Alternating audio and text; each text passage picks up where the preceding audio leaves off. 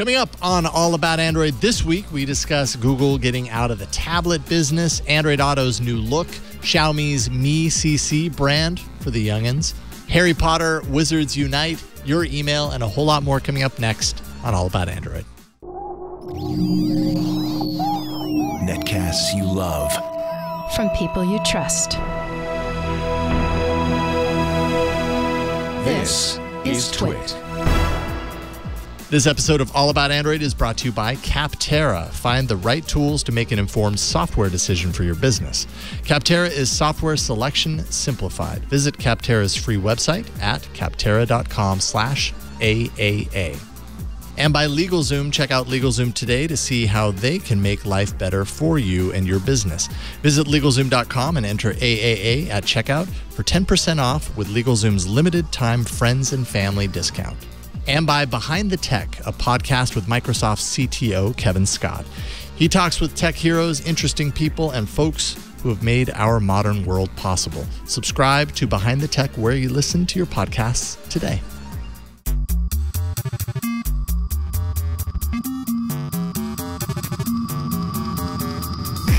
Welcome to All About Android, episode 426, recorded on Tuesday, June 25th, 2019. Your weekly source for latest news, hardware, and apps for the Android faithful.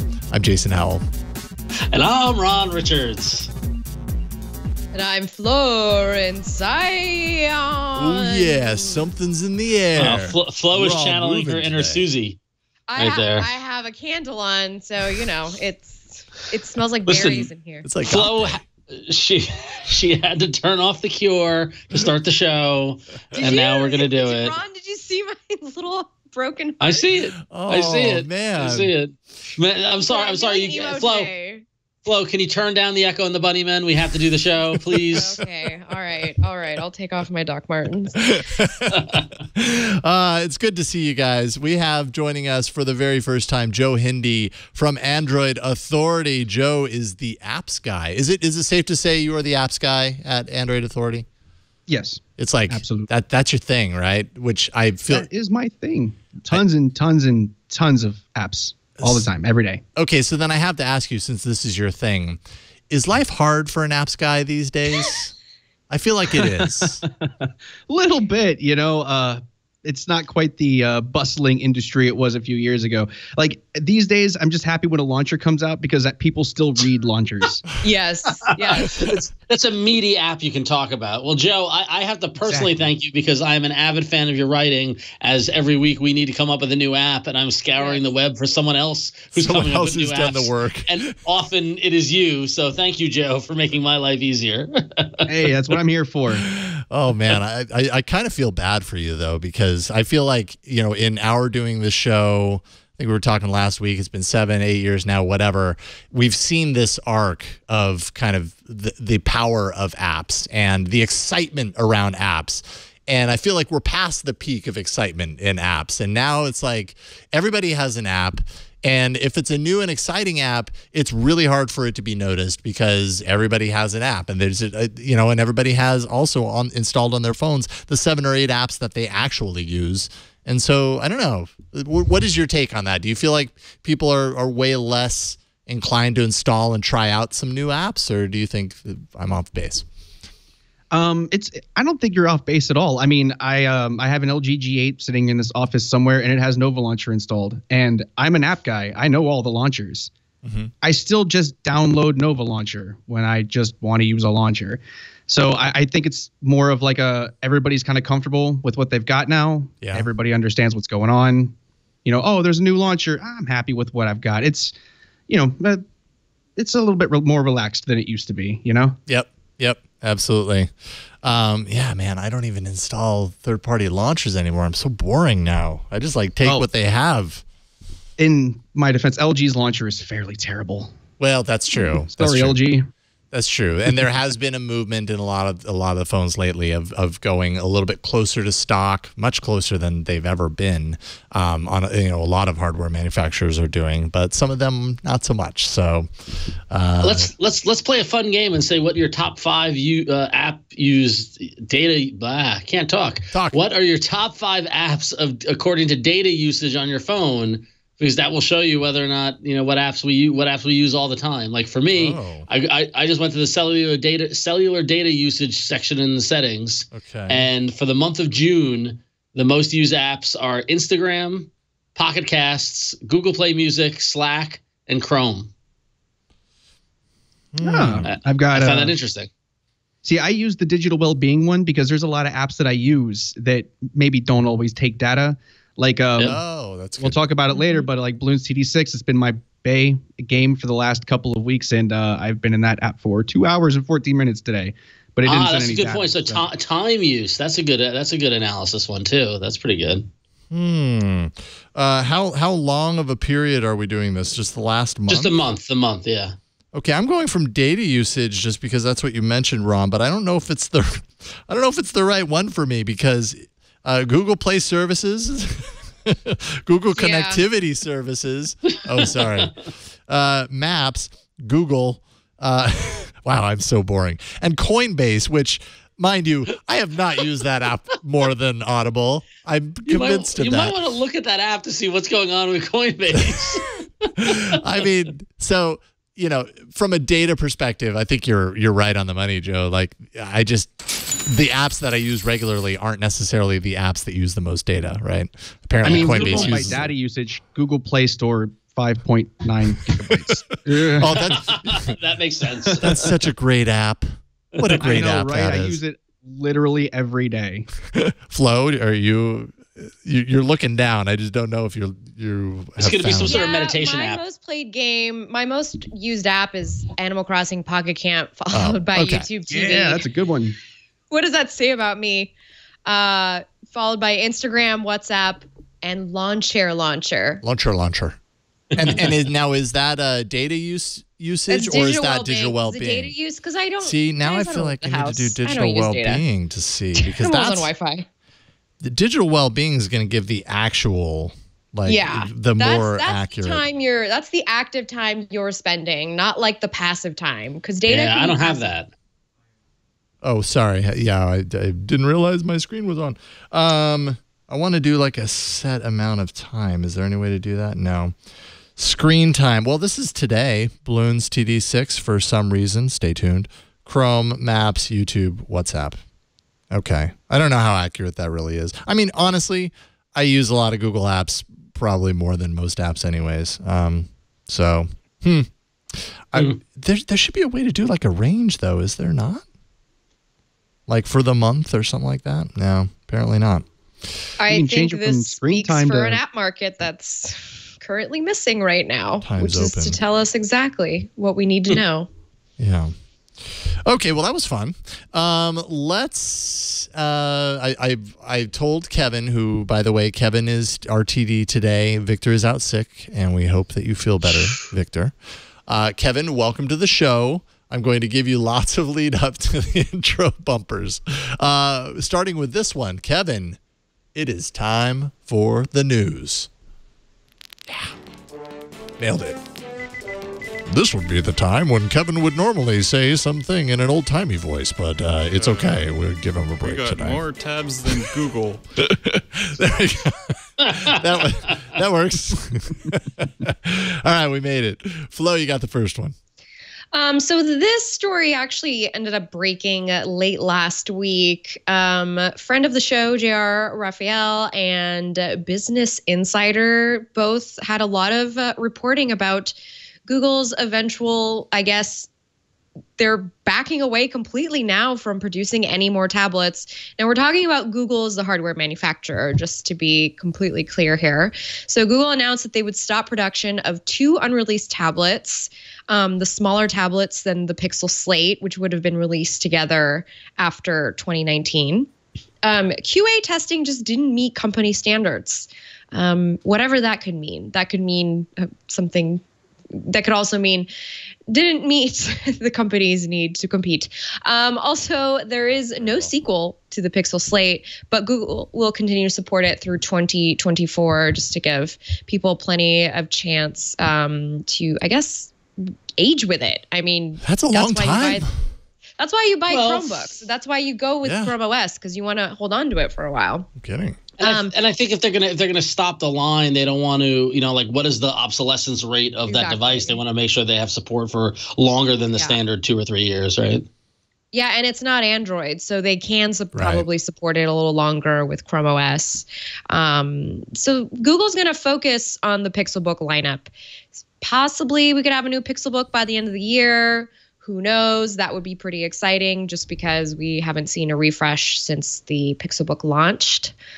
Um, there's also kind of relates a little bit to some of the cutbacks that happened uh, three months ago. So Google had actually scaled back on some of its in-house hardware development, and it's it's kind of leading to credence that this is the result of it. This is just Google scaling back and saying we're we're done with tablets. We're leaving it to We're everybody else. I don't know. What do you guys think? Like, are you happy Google's finally making, like, taking a stance, I guess, and not just dragging us along for the ride? Yeah, Joe, do you have a do you have an opinion on on tablets? As the app guy, I know that apps on on Yeah. tablets aren't always as fleshed out as they probably need to be. But what do you think? Um, I was unaware that Google still made tablets. When was the last time they launched a tablet? Like how many Well, years ago was that? Well, I mean, they had the the Pixel Slate. it's actually 9. the uh the if it you know the Oh, tablet it's that right. It's right here. about In fact, happens to be the tablet that I'm using right now. The yeah, but Pixel it's not Slate. an Android tablet. It's a Chrome OS tablet. Yeah, exactly. Like it, So the I- last Android tablet was the Nexus 9 from Google. Just yeah, that's what I thought. Years and years and Forget it. years ago. yeah. And uh, like you know, I, I remember there was like the age of tablets. We had the Nexus Seven, we had the Nexus Nine, we had the Nvidia Shield, um, which was my favorite tablet ever.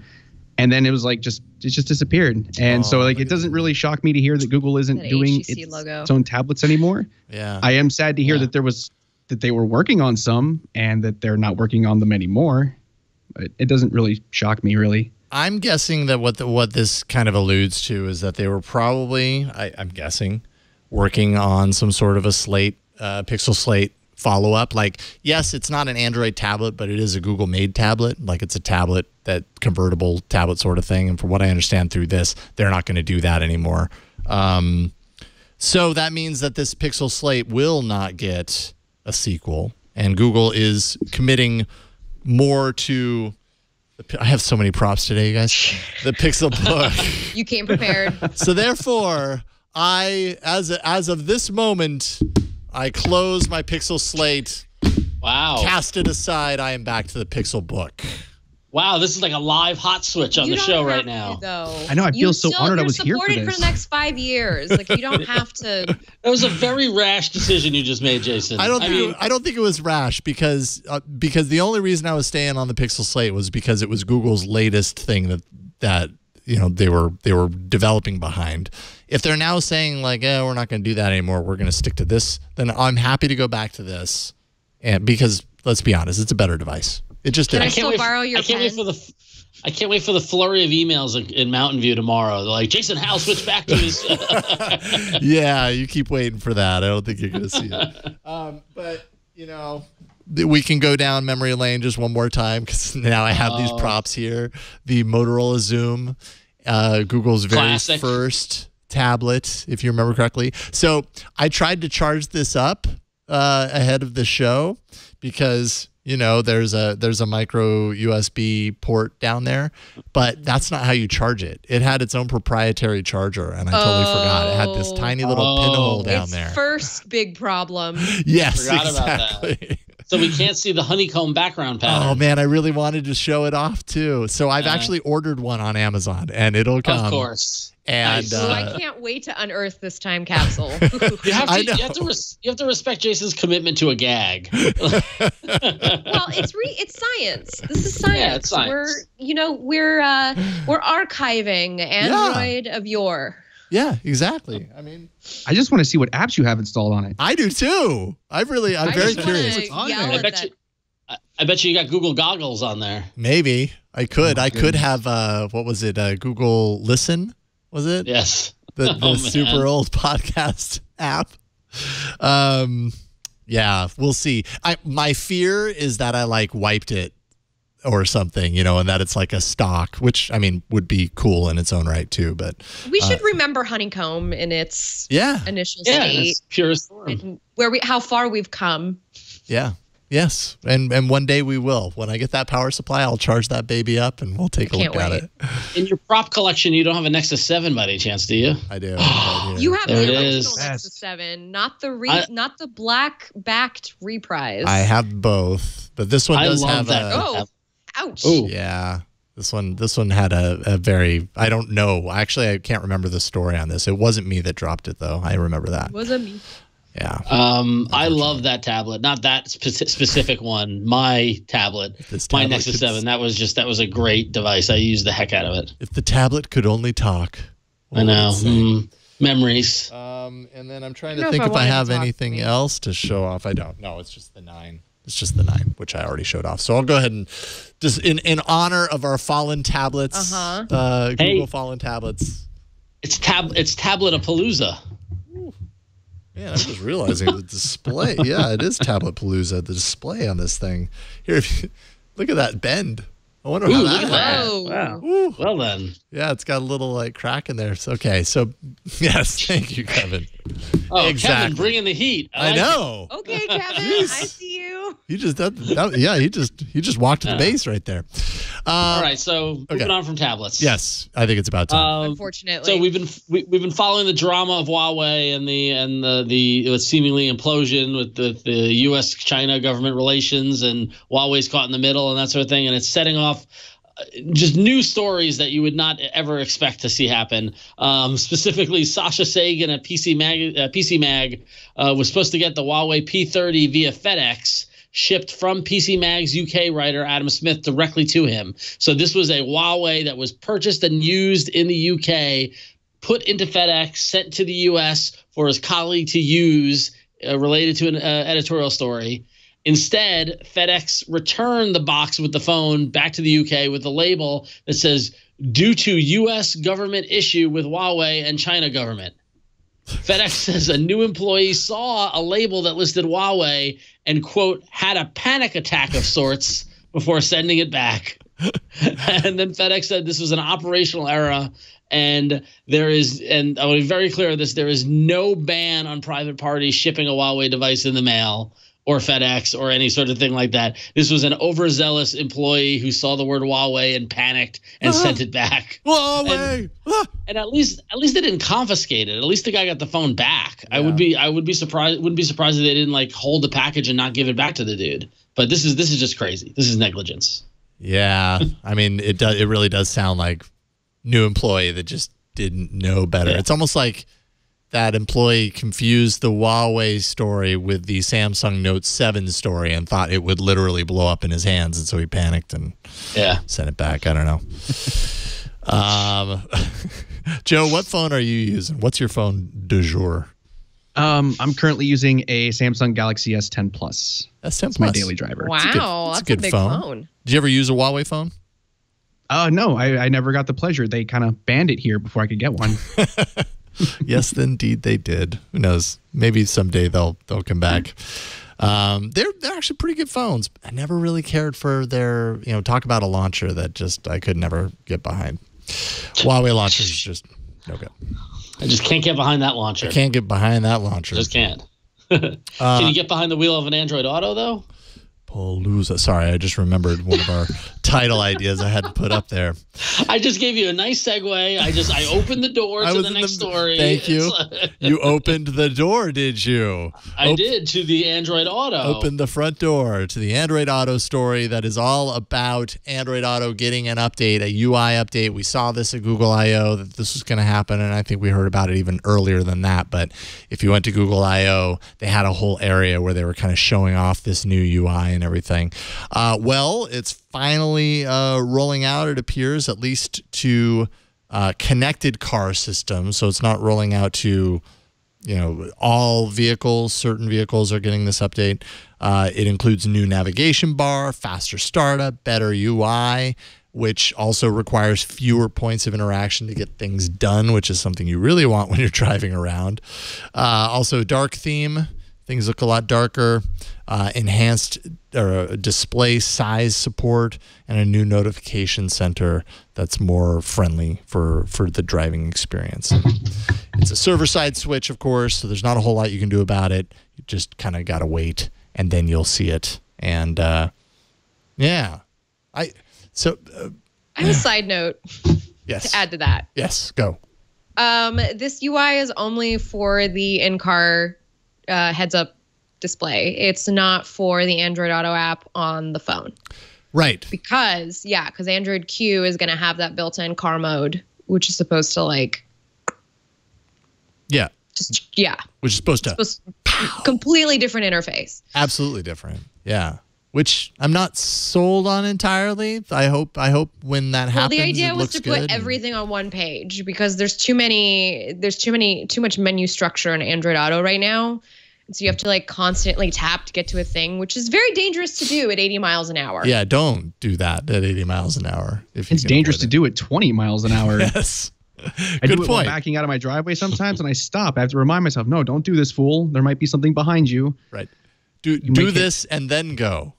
Exactly. Don't go and then do this. It's just absurd to me because because in my years of being a journalist, I have learned that still the best way to be in a car is with tactile buttons, and they keep trying to put displays in the car, and it's just I because kinda they rubs look me the wrong sexy. way. Because they, 'cause they look good. Because they look sexy. Because they compete with Tesla. yeah, but they don't. and yeah, I know. I know. It's frustrating because you you're not supposed to have all that stuff blaring at you when you're driving. It's very frustrating. But I but I still don't understand. Okay, so that that's totally a fact that you know like in, in the state of California if you're touching your phone that is mounted on the dash if you touch it more than like two times or whatever you could get pulled over which how is a cop mm-hmm. going to know you touched it exactly two times or more so basically if you're interacting with your phone you're you could get pulled over if, if a cop sees it that is a touch screen but the Tesla and other vehicles like it have a have a gigantic touch screen and it's built into the. You can interface see the and you're expected to interface with it and you're allowed to in the state like I don't think you're it's Yeah. like illegal to control your car on those touch screens. So what is, exactly is the difference? I don't get it. Is it because the phone is smaller? I don't Maybe. understand. Smaller, harder Because to you, have see. to take- 'cause you have to take your attention away from the road and the wheel to look at the phone. Right. Whereas th- this display is in the dash and it's you're still looking forward, but you're just kind of kind of looking down to the right instead of you know I don't know. I don't know because, because my it's because they don't move fast enough. These things don't move fast. Like laws and and all of this does not move fast enough as technology does. that's probably it. That's Like- I thought probably you were it. also referring to the touch screens had not going fast enough. yeah, yeah. that happens too. I mean, cell phones cell phones got banned in the state of California because we kept saying texting and driving like Yeah. teens are text like your phone is super dangerous, but we have not done any studies for Tesla drivers Right. or any of the new luxury cars that have giant it's it's it's all very I just am bringing it to everybody's attention so that we remember Yes. that Re- these things are not perfect. No. It's just it's it's always been so confusing to me. Like, what's the difference between touching that that legal Tesla screen and the illegal smartphone? And I'm not I'm not like saying we should be able to touch our smartphones while we drive because I actually don't feel that way. Like, I don't touch my smartphone when I drive now, uh, and it enrages me when I look over and I I saw it today. Someone was driving. I mean, literally, I did not see them Oh, look yeah. up, and they were just like on their phone, you know. And I was next to them, and I, I'm just like staring at them and going, "What the?" Hmm. Um, that is that is unsafe. Stop it. But uh, Today, everyone learned Jason and Flo have road rage about people. being on get off your phone. It's like it's like justified road rage though. It's like it's like It is. you're you're you know. yeah, I, yes, I'm not escalating that road rage to the next level. I'm just angry Right. on the inside, I guess. All right, Flo, you got the email. All right, let's Now turn this around. raged. Let's help. Let's help someone now that we've torn down the entire auto industry. Um, so last week, if you tuned in, you might remember that Al had written in wanting only certain apps to play notification sound, otherwise vibrate or silent only. So Craig from Edinburgh, Scotland, wrote in and says that they might have a solution. So Craig writes in, I think I may have a solution for you or at least it's how I have my phone set up. I have set the default notification sound in settings, sound, advanced, default notification sound to none. Now, I read that um, that's the file structure for Right. those wondering. So in the settings on the sound panel, this means all apps only vibrate, and I set specific apps to make a sound at my discretion. This avoids installing a new app and having it ping with unwanted, unexpected notifications. Not sure if this is what is required, but it works for me. Thank you, Craig, for writing in uh, with a little help for another friend. This is so nice. Yeah, so the idea then would be setting the default on all apps to none and then going into the apps that you want a sound to play and setting those. I wonder if the def Yeah, I'm- I'm trying to understand how that works. Setting it to none does that like issue a command that then goes into all of those individual apps and sets them to none or is it like a blanket like over the top like no, everything is none now and how do you get through poke through that with the sounds that you need on the apps that you actually want to make a sound? I don't know, but apparently it works for Craig. So you figured it out, So- Craig. Thank you. Uh, just so I remember, this was specific to Android Q beta. No, my solution was because that's what I had installed, and I realized that there was a feature coming up in the Q beta that was specifically about this. Um, I don't believe that uh, that his. I'm, I'm looking at it now. Stock Android nine. So this was just stock Android nine. Um, so there you go. I mean, I'm assuming that Craig also has that because this is what Craig. Craig didn't mention the phone that he's on specifically but that was part of the email, so I'm hoping that they're on the same page. But anyways, maybe that would work. I don't know. Sometimes Craig says so. Android is great because it's so expansive and you can do so much with it, and sometimes it just becomes a confusing mess. Yes, Yep.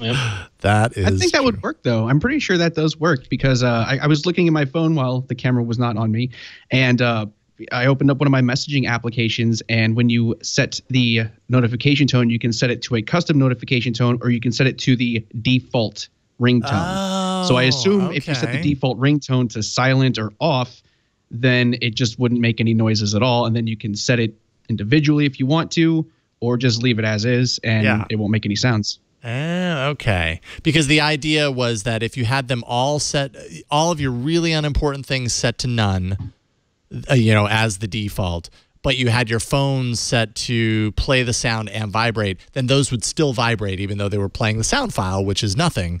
And then the ones you really want to poke through, like a ring doorbell, would actually make a noise. And, you know, then he's not being called to every single flipping, you know, notification that comes through. It's just this small bucket of apps actually makes a sound so that I know it's really important. And that sounds, yeah, what you're describing there, Joe, sounds like uh, that would work. So, um, cool. I hope that works. Thank you, Craig, for sending that in. Ron, you got the email. Or sorry, not the email. You've got the uh, ad.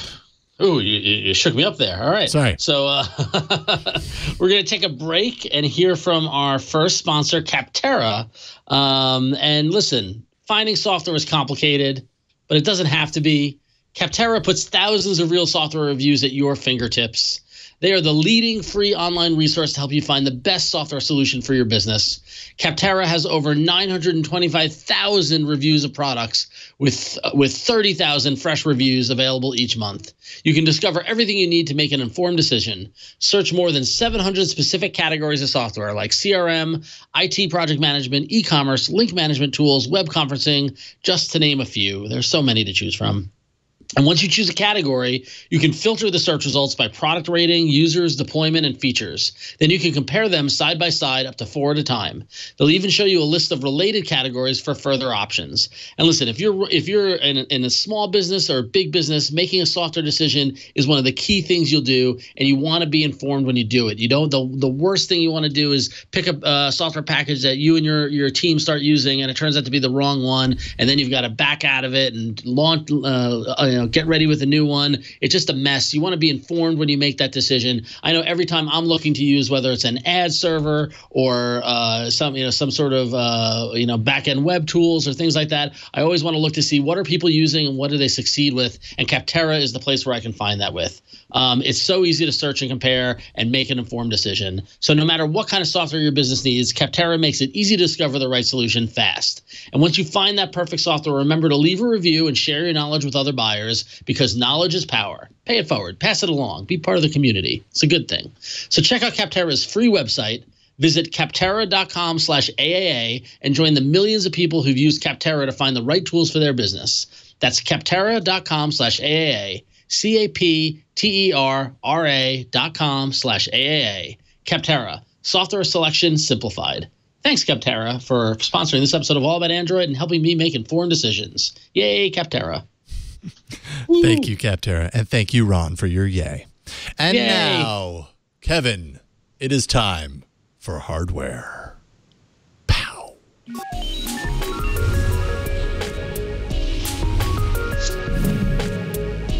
Uh, You see, hardware is the more like serene music. and before yeah. the show, we were guessing the uh, bumper music. Without this is why you got to tune in. You got to tune in live on Tuesday nights at 8 p.m. Eastern, 5 p.m. Pacific to hear the nonsense, like us trying to guess the music of our bumpers while we wait. Um, so listen, there's so much going on in the world of Android hardware. You know, you might be upset because Google stopped making tablets, or because of the disastrous uh, foldable situation going on over at Samsung and the rest of the world. You want your new cutting edge device, and you want a tablet, maybe one that folds. Uh, well, rumors have been swirling that Microsoft, of all people, uh, has been working on a dual nine-inch display Surface tablet, codenamed Centaurus. Uh, it's powered by an Intel Intel processor that will run Windows Core OS, a more lightweight version of Windows. And why is this uh, relevant to you? Because it also supports running Android apps. Um, and uh, the as previously mentioned, Huawei uh, is also working on its own OS that would support Android apps. Uh, just as a reminder to you that Huawei is also working on an OS. Um, but uh, yeah, Microsoft with a with a foldable nine inch uh, tablet. That's pretty interesting. Not bad. In I'm case anyone's wondering, Centaurus is a bright constellation in the southern sky. I just Hmm. wanted So to. So now what can we what can you ascertain from that? A bright constellation in the southern sky, Mm, a foldable yeah. nine inch tablet. It folds south. Why why call it Centaurus? I think I think we're reading into this at exactly the right the right depth. Oh no, we should. I, so, mean, too. there's a table of people who came up with this name to try For a and like, think about marketing. I don't know when it's a code name. Sometimes I just feel like they go, I don't know, just uh yeah, that name, sure, why not? But is It's Android the South? Like, is Android the operating system the South, and this is like the bright constellation? Like, is this some sort of like call out to the Microsoft fans who are sad that Windows Phone didn't like live on? I mean, I'm just Yeah, I, th- I think it might actually be that. Um, what do you think, Joe? I, I have no idea. you don't have. I know any it's like I know it's technically we're not supposed to say that, right? But I have no idea what No. this means. No, believe me, we have no idea about a lot of things that we talk about on this show. It's okay. Welcome home. so so Joe, so Joe, what's your take on the whole foldable device world? Would, Yeah. Do you want a foldable? Do you even want a foldable tablet that runs Windows and Android? Oh, definitely, definitely. I'm a huge fan of the foldable market, uh, but Nice. not because of its durability, obviously. But it's it's one of those things, right? It's, it's one of those brand new kind of technologies, and one that runs Windows and Android apps. That's basically right up my alley. I- I feel like Microsoft made this device for me. I would, Maybe they did. maybe yeah, yeah. Well, so I if you hope could be buy it. patient, if you could be patient until 2020, it could be yours. Oh, I'm truly excited for 2020, and I think that's when the foldables market's really going to start taking off and having some fun with it. We're going to get past the Galaxy, the disaster that's going to be the Galaxy Fold, and then whatever Huawei's doing. But then 2020 is going to come along, and I think we're going to have a lot more fun stuff like this. I'm a big fan of fun hardware. You and you and Ron should go bowling because the two of you are are big fans of of uh, odd kind of the the the stranger stuff that's happening in the in the hardware. And, and really, the Android. best place to talk about strange Android hardware is the bowling alley. Yes, Absolutely. That's what you do. Yeah, That's for sure. Yeah. That's what everybody does that are fans of strange Android hardware. They go bowling together. Uh, An- Android bowling. strange. well, we It turns out I'm also a huge fan of bowling. I'm just very terrible at it. Oh, there you go. Oh man, I'm so bad at bowling. Uh, for one game, usually it's one game out of like three or four that I do okay, and that that one game makes me think I've got it figured out, and it's all over. Uh, you know what you won't want to talk about when you go bowling? Uh, the Walmart Onn 10.1 inch tablet. Oh my. So I did a full review of this tablet on Hands on Tech. Uh, if you go to twit.tv slash hot, You can find that full review. But I thought I'd bring it on here just to kind of show it off a little bit. We had talked about. Uh, oh well, let me let me go ahead and put my password in over here. Wrong one. So, Joe, uh, we should while while you're doing that, we should Yeah. fill in the viewers and Joe. Uh, we discovered that Walmart sold a tablet, which we thought was fascinating, and it was a very low cost Very tablet cheap. at at what seventy bucks, like sixty bucks or so, Eighty Yep. bucks. and and so we we immediately dispatched Jason to go buy it and use it. Yes, and so I opted. So there's an eight-inch version for sixty-four dollars, and then there's a ten point one inch version for seventy-nine dollars. Only four left, by the way, in the, in the Walmart store. in the world, site. in all the world.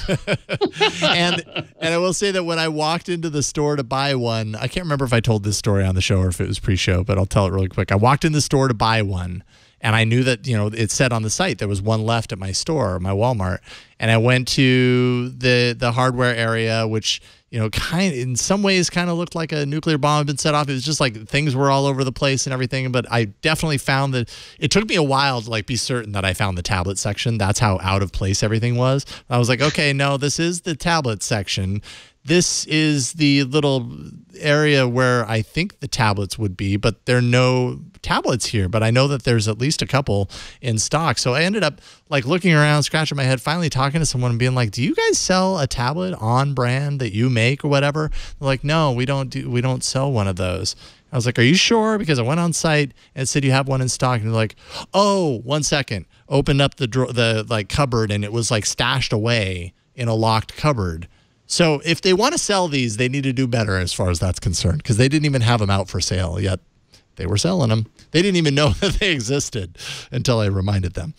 Anyways, this is the Onn 10.1 inch tablet, $79 for this uh, this large format tablet. And I would say the the biggest plus here and the thing that's going to make you know most fans of this show excited about it would be the fact that it's running Android 9 Pie and it's a very very slightly modified version of Android Pie. Honestly, everything looks stock. If you go into your settings, everything looks. Oh boy, I've got some brightness going on right now. Let me ramp that down a little bit. Everything looks pretty close to stock. Uh, the app drawer and everything. Uh, the only way that it's not was that elusive uh, Walmart button, which when you tap it, takes you to Walmart's suite of apps. Uh, all that kind of Why stuff. Why is it 9 p.m. By the way, I never, I never changed the time zone, and apparently it didn't change it automatically for me. I was me thinking either. maybe it it traveled us. It like took us through time. Like it's actually a, this really uh, deep, intense tablet. it's hiding a secret. Yes, this review has taken me three hours, Flo. it's now three hours later. I'm sorry. It takes me a long time to review my devices. Uh, so the pluses, it's running Android 9 Pie and it's cheap, right? 64 to $79. I mean, that's that's in kind of the price category where you could be like, oh, okay, I've got very little to lose here. Uh, then you know, in my time spent with this device, I'd say the downsize. Um, for the most part, it's pretty slow, right? Like things drag a lot. If I'm if I'm browsing the web or whatever, things are kind of choppy and jittery as I'm as I'm scrolling around. It's not it's not like unusable, but don't expect to be flying around uh, doing stuff uh, or multitasking, whatever. But you know, you can browse with it, you can read with it. Uh, you know, read read your ebooks, uh, watch watch video on it. That's going to work fine. You're not going to get like pristine, high quality HD video because the display just isn't. Um, I think it's a 720p display, and at 10.1 inches, like you see a lot of pixels when you really get up close to it. Um, battery drains super quickly. This this has a 3,500 milliamp hour battery, and most phones have more, more than that. I would say these days, more most of the kind of mid to higher end phones do. Um, so you're driving this gigantic screen with a small battery, and I mean, you'll do. You'll like start on a certain thing, like, oh, I got to do this thing. And 10 minutes later, look down and 10% of the battery's gone. So, uh, not a whole lot of battery um, performance on here. It has a plastic display. It scratches pretty easily. It also kind of feels a little st- like sticky's the wrong word, but it kind of has that resistive screen feeling to it. Uh, even though it's not resistive, it is capacitive. But, anyways, it does ship with a screen protector that fits it. But um, you know, stupid me, I took the screen protector off because that's what I always do when I get a new phone that has a screen protector. and you can't like buy the screen protectors again. So if you get one, leave the screen protector on. It it makes the screen feel kind of tacky and and weird. But it's going to protect the the plastic on the screen. It doesn't have an oleophobic uh, coating on it, so it's not going to repel scratches very easily. Uh, and the speakers and the cameras are just awful. Like the camera, the front facing camera is a where is the camera? It's a, uh 0.3 megapixel uh, camera. The rear facing, I think, is two uh, two megapixels. Here, I'll just switch to the front so we can get the beautiful money shot. I mean, just just look at that. It just it tracks so well. Um, so you know. Why are you buying this tablet? That's the question you have to ask yourself. Am I buying it because I expect a lot out of it? If that's your if that's what you're buying it for, then you probably shouldn't. Uh, but if you're buying it because $79 or $64 is really not a whole lot of money to have another screen device that you can kind of take on vacation and get maybe a movie and a half out of, uh, great. Go for it. You know? Um, or, or, I mean, also, but if you're looking for a low cost, you know, like if you shop at Walmart and you don't mind Onn uh, products from Walmart. I mean, I could I, I I understand why it's there and who the person is that buys this. Someone who's not an Android enthusiast like us, who knows everything, who remembers the Nexus tablets, who just like, oh, I would love an iPad, but I can't afford one. Here's the sixty dollar one at Walmart. Yeah, yeah. Right. I mean, that's uh, let's be honest. That's really what's happening here. Yep. And kids. Yeah, and and kids. kids. wanting to get their yeah parents wanting to get their kids a super cheap, basically disposable tablet that you know if the kids scratch it up or throw it away or drop it in some sort of water, the parents don't get overly angry that they wrecked this Walmart Onn 10.1 inch tablet instead of the family iPad. You know. Absolutely. And, and you know what? And that's probably the best case to be made for it, right? If you have young kids, and, and I, I say that because if they're older, they're probably playing more games. Mm. And this doesn't do well with games beyond kind of the really basic games. If there's a whole lot of moving pieces, things stutter and slow down like you wouldn't believe. So this is not like high end or even mid range gaming performance. This is not meant to be a gaming tablet. But if they're younger and you want a tablet for your kid that you can put a case on, Walmart sells a kid like a rubberized kid case with a handle for this tablet specifically for like 10 bucks. So you get the mm-hmm. the 8 inch with that. It has the screen protector on the front so it's all kind of together and you don't have to worry about your kid peeling off the screen protector. For like 80 bucks all in, mm-hmm. you got a device that, you know, your your 4 to 7 year old I, I would say or who knows, you decide, but you know, they can watch their their view, their content on YouTube and Netflix and and whatever and it's going to do great for them. You know, and, And it'll sorry. yeah it'll also teach them the uh, the lifelong lesson of having to plug in your electronics every day. Yeah, that's that's a really good point. Well, honestly, Every few hours. like you know th- their viewing time will be capped out at the amount of time that the battery lasts so you know you don't have to worry about over screening them Perfect. so there you go so that's the walmart Onn 10.1 inch tablet uh, i think the, the same review would go for the 8 inch uh, it's just a little bit smaller and everything but but yeah there you go on you know it's good when it's on. yes that's that's I'm just writing truth. marketing for slogans now for Walmart. There you go. you, you know it's good when it actually turns on on. No, no, no, no. yeah all right flo you're next Um, so other brands that we're talking about here that aren't, well, maybe someday they'll be offered through Walmart. So Xiaomi has announced a new series of smartphones called the Mi CC. So CC stands for camera and camera, like dual cameras, haha. But also the C's stand for chic, cool, colorful, and creative. All of the terminology that you would associate with the hot, cool millennials of today and Gen Z. Sorry, Oh, my. there's Gen Z now. I'm no longer the youngest generation. So, this is aimed at global young generations with trendy design and camera features. Cool. Ugh. It's created by the youngest product teams at Xiaomi, with half of them being art majors. Okay. uh, by the way, good for art majors. Uh, this is the result of Xiaomi's acquisition of MeToo. Um, Meitu. Spelled M E I T U. Uh, it was a selfie maker app. You may have seen their apps around in the Play Store.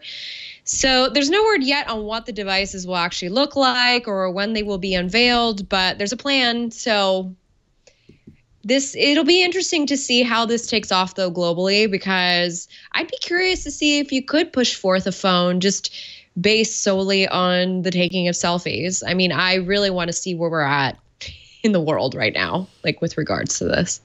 It's it's a phone for the youths. Well, I'm curious if it could work actually. I don't know. I guess we'll find out. I wish we could had like had a phone to look at, see what these art majors came up with, put their major to use. Um, I feel like though when we venture down the road of like hardware created specifically for a category of people, doesn't always go the way the way it was intended. Like there, yes, but this is the Chinese market. We're well, this is a global market we're talking about here, which which is why I'm like, let's wait and see because I'm really curious to see how this would, like, if Xiaomi Yeah. was a phone marketed towards Android enthusiasts or towards people who wanted a different kind of Android. Like, I wonder how they would market this and if it could work. That's what I'm really curious about. Yeah, I'm I'm very curious about that too. I think once once we get one of these phones, because you know we totally get Xiaomi phones all the time for this show. One of these days we will. Um, Mateo, Mateo will get it. that's true. Mateo would probably get this. Uh, if we happen to get one, it's going to you, Flo. You you got to be the All one to take it for a spin if you want to. I guess you don't. Since have to. since I'm the the se- the second clo- I'm the closest to the current generation. Yes. Yes, exactly. Closer than I am. For sure. Um, also, millennials. Wait, what did that say? Whoa. they want a pair of aperitifs. millennials don't want to get drunk. What do they want? Aperitifs. And two cameras. Earth is an aperitif. Oh. Oh, the internet. Yeah, fun times. All right. All right, Ron. Well, speaking of cameras, the uh, Google Pixel 4, the the the the the rumored and leaked and then confirmed Google Pixel 4 by Google might have a long-awaited new feature, P3 color gamut support. Hold the phone, everyone. Gamut support. Uh, but this is a big deal for camera enthusiasts. Uh, Android devices have historically captured a limited color range images using the sRGB gamut. Images that show colors outside the sRGB range will clip those colors to the nearest color. The P3 gamut is a wider color gamut by comparison. Apple uh, has supported the P3 gamut for three years now, and last month Google said wide color photos would soon hit Android. Now, code has been discovered in the Google Camera app that hints at possible support for wide gamut P3 color capture. Uh, and the fine folks at XDA believe that P3 support will be present in the Pixel 4. And that seems, given the the square camera design of the Pixel 4 that we saw when Google posted it, if they're going to focus on high end again, flagship phone, and camera functionality, where else to go but improving the color depth and the color uh, the color values? That seems like a logical spot to go. Um, Joe, what what do you take on this? Do you think that this is inevitable for the P4, or will we get it sooner in the Google Camera app? I think it'll come with the Google Camera app. Um, I was a little mesmerized by the the fence with the rose because that looked like my fence and one of my rose bushes. I was like, "Did they get that photo from me? This was no, no, taken no. Two minutes ago. the They're house. outside. yeah, I was like, hold on a second. I know that fence. Uh, but I guess all wood fences look like that. Uh, in any case, uh, I, I'm not the biggest camera buff, so I might be the wrong person to ask about this kind of stuff. But I, I it feels just like the natural progression uh, coming forward. I, I wonder if like does the lens have to support it, or is this a post processing kind of thing? And if it's in the Google Camera app, then I'm guessing it's a post processing thing rather than something that the lens has to actually capture. That's a really good question. Um, because if it's in the app and not in the lens, then potentially that means it could be backported to other you know, devices like the Pixel I have 3. a feeling it's in the app. Knowing, I have a feeling this is some sort of AI magic that is making this happen. And it's gonna Processing be- power, right? Yeah, that's what I think Yeah. too. I think it's going to be some sort of processing trick that Google does. I mean, you can get the Night Sight Google Camera app on a bunch of phones that aren't Google phones. Yeah. So it wouldn't shock me if this was very similar. Yeah, if you, I don't know if you still have it up, Kevin. Um, the uh, the little animation of the rose going back and forth. Um, it's subtle, but what what you want to like train your eyes on is that is the red of that center rose, and you can see like that. Like uh, right now is a little bit washed out. That's a little bit deeper. You know what I mean? the And- pinks get pinker too in the second in the P3 version. Yeah, you just get more. Well, you just get more depth. There's more kind of different differentiation of the colors in the the P3 profile versus Yeah. the sRGB, where it almost looks like it clips in the reds uh, a little bit with the sRGB. Well, so. it's like it's like ra- it's like rounding numbers. It's Yeah. rounding the color to the nearest value, right? Right. Which is not the actual Uh-huh. color. So Right. you know, right. And doesn't represent what we actually see with our eyes. So Yeah. along the way, that's what these color gamut you know profiles are all about. Getting further and further to the point where it represents all of the true colors that we see instead of having to round those up. So, any improvement's better than not. I see your true colors. shining through. Man, I, I wouldn't peg you for for a True Colors uh, song. Hey, I'm a big C- I'm a big Cyndi Lauper fan. Oh, okay. I could That's- I could I'm, peg I'm all that. for it. So All I'm right. curious, like, is maybe this is too deep of a question for all that. Oh, here we go. Android Here we Episode 426, but I'm wondering. So, are, is what we're seeing like? It's so hard to tell if the camera knows what my eye doesn't. If that makes sense. Um, Like, if the smartphone camera is truly reproducing what my eye sees. I don't know. are you asking? This is a deep question. Yeah, this but- this might be an existential that's- question This because deep- this ties into a question that I've always had, which is Amazing what if transition, by the way. what if what if my red and my whole color profile of what everything looks normal, like my reds and my greens and Yeah. everything, is actually your purple and your blue. But Yeah, what you've always known that them to be true, and I've always known this to be Yep. true, and so it just looks normal to you. But if I was to put my eyes inside your head. Or whatever we could we could trade sight. We'd be like, "Whoa, why does your grass This look an like the existential sky?" Question. I thought about So this are when I was like 10. Just like smartphones. We just have parts that you take in and out of us. Yeah, This this seems like a college dorm Dude. late night, you know, Oh, yeah. kind of like whoa. Yeah. How is Sorry, my blue happens a lot your blue? Joe, oh, what's Yeah. what's what's your color gamut like, man? I don't know. See, what I'm wondering is if we try to go so realistic that you know, because you know, some people have the eye floaties, you can see it like you know, floating through your vision. Whoops, sorry about that. But like floating through your vision. And I'm wondering if someday someone's gonna get too meta with it, and be like, so realistic, we included the eye floaties. So just to And if you stare into the light, you can a- see the veins behind your eyeballs. exactly. Yes. uh, just to offer a quick tidbit, um, sRGB, as far as I remember from the days I worked in print, because Yeah. there used to be print magazines. Yeah. That's not the one they use. They use the other palette, the CMYK, the big, the, In the expensive one. They use that for printing Oh, okay. because it's more vivid and vibrant, like for magazines. Oh. Just in case anybody's curious. What kind of screen would you need to view that kind of color gamut though? Because I, you know, I bought a laptop last year for a An thousand Apple bucks, and I, yeah, I looked it up, and Yeah. it's like, oh yeah, it covers like seventy six percent of the sRGB range, and I'm like, I can't even see all the like all the computer colors. How am I supposed to see all the normal colors with like all this new technology that Google's including? You know? Yeah. Well, I think Flo, I think you nailed it. We have to buy one of Apple's uh, multiple thousand dollar displays. That's all we have to do. Right. Right. I don't have to buy the stand too, do I? Yeah, Oh, you gotta. Yep. Yeah. Oh no. you do. if if you want to see those colors, you have to buy the stand. Okay. Yet another great deal from Apple. Fine folks at Cupertino. All right. Let's take a break, and then we'll get into some apps. And uh, and a whole lot more. We got the arena after that. So, but before we get there, this episode of All About Android is brought to you by LegalZoom. Uh, I've been le- using LegalZoom for years. I got my last will and testament uh, done through them when we had our first daughter. Um, God, more more than nine years now. Uh, you've been hearing us talk the last few weeks uh, about the friends and family discount that's happening at LegalZoom.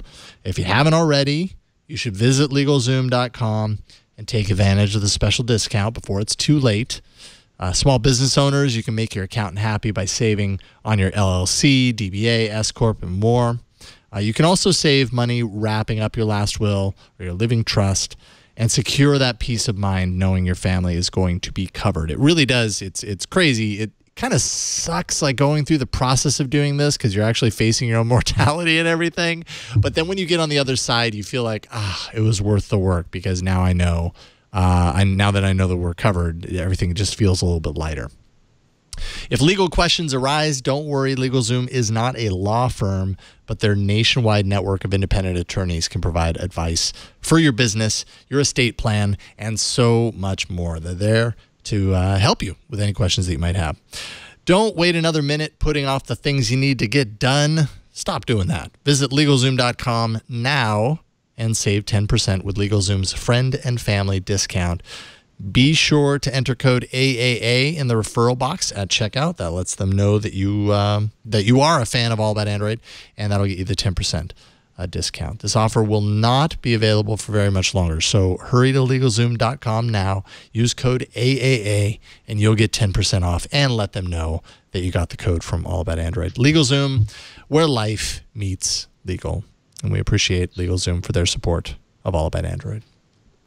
All right, so now it's the it's Joe's favorite segment. Yes, he's been waiting his entire life. The whole show for this. He's been waiting an hour patiently. Apps in All About Android. Look at that. Look at that bumper. Isn't that great? He's like, guys, you're, you're talking it up just a little too much. I actually don't like apps.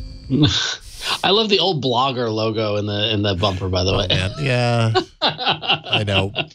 Piece by piece, Oh, is that there bumper inbox? is disintegrating. Ooh, that's that's inbox hmm. underneath the Twit logo, right? Leave it. Leave it. a yeah, i- ingress. A rest in peace of sorts. Yeah. yeah. it's like a it's like a graveyard now. If we backed it up, I'm sure we saw I'll see other dead ones too. Oh, I'm sure. What are, what are the binoculars back there? Is that look? Look, that's right. Look, Yeah, wasn't there a Google Look app or something like that? Or Yeah. Google. Look. yeah, this show is full of tangents. Uh, lens? No, that wouldn't be lens. Lens is the new thing. Did I make up Google goggles. Look? Did I Is it goggles? No. Google goggles logo. Let me see. And no, I, I think I made up Google Look. because the Google goggles logo. Google uh, goggles. Google goggles logo was like uh, 3D glasses, if you remember. Yes, it was blue like and blue red and and white. Yeah, yeah, Yeah. And if you remember seven years ago, lots of Google goggles jokes, Jason. yes, before Huawei came along.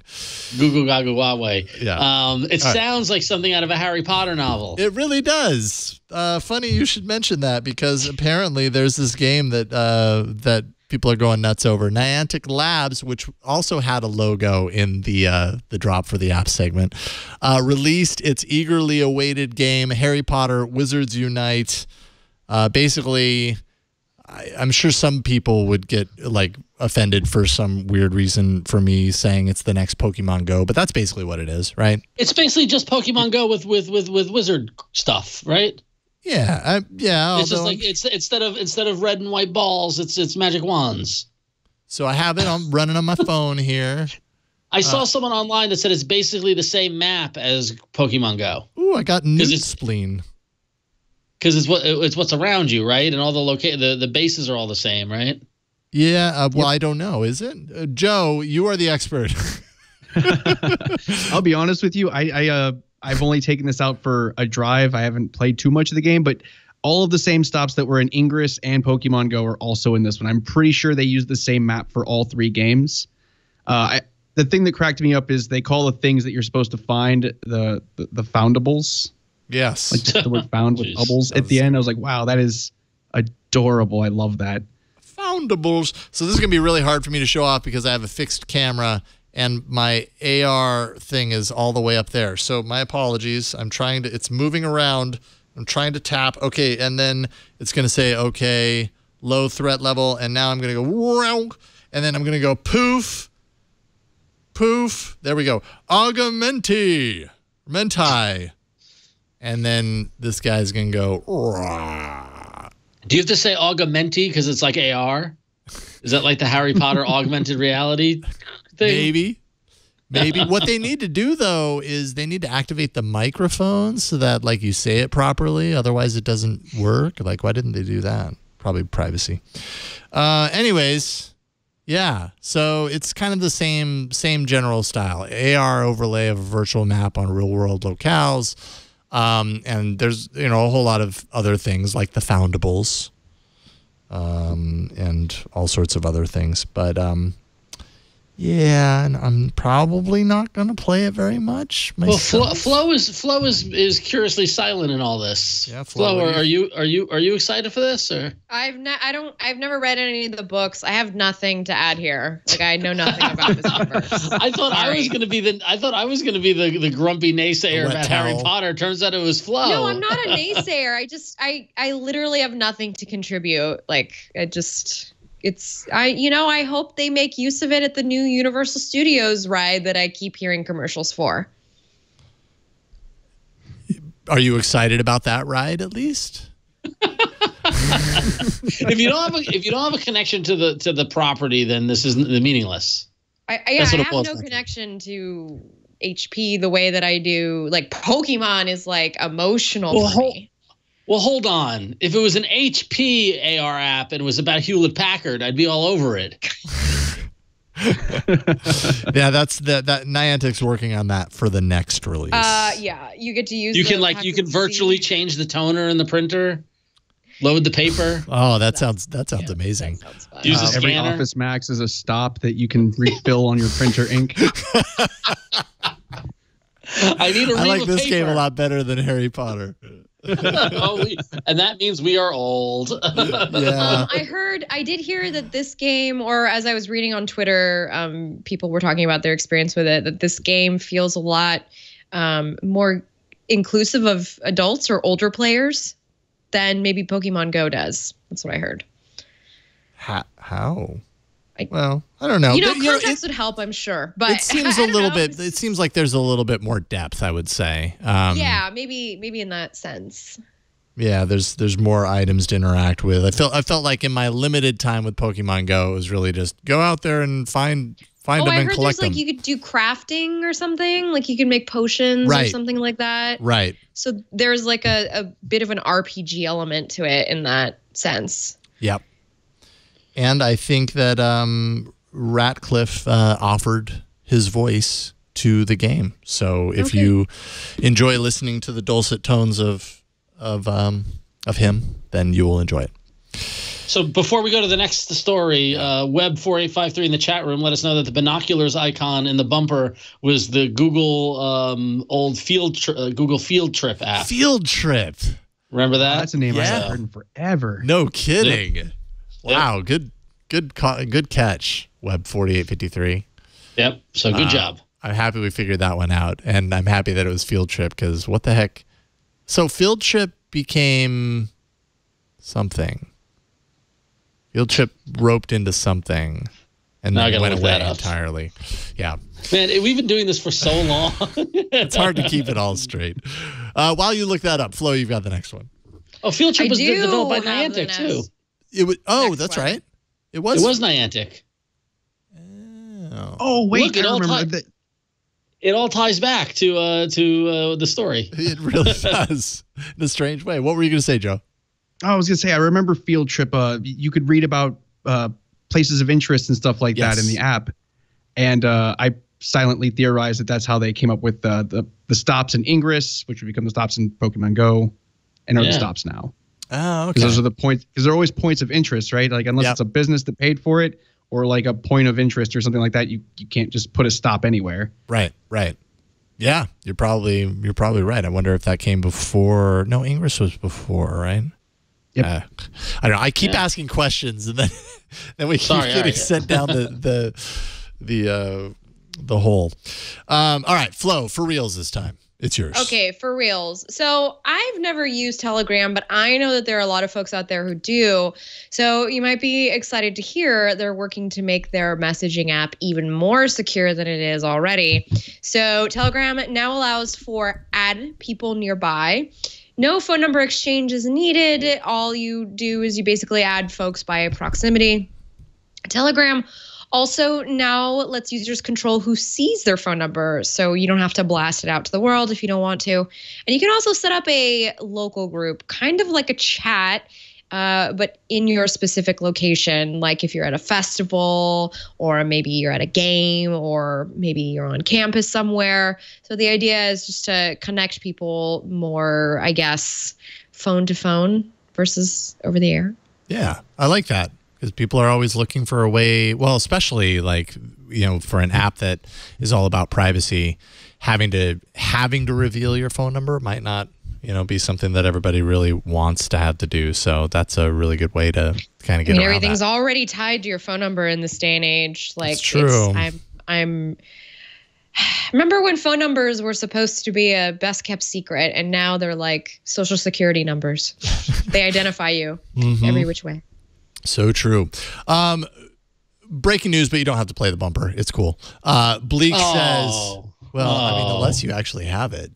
Kevin, can you play the bumper? This this is why. No, he doesn't know where it is. No, don't All worry right, about fine. it, Kevin. It's all good. It's all good. Instead, Flo is going to sing a breaking news song. Flo, go. It's breaking news. It's breaking news. It's gonna break. No one's back. i want hi There we, there we go. Forgot that was the song. This is, this is a fun episode. I like it. Okay, uh, we have breaking news from the chat room. Uh, it is official. Field trip was first, September 2012. Oh, that's what. Yeah, field trip. That's what it was called. Ingress came out in December 2013.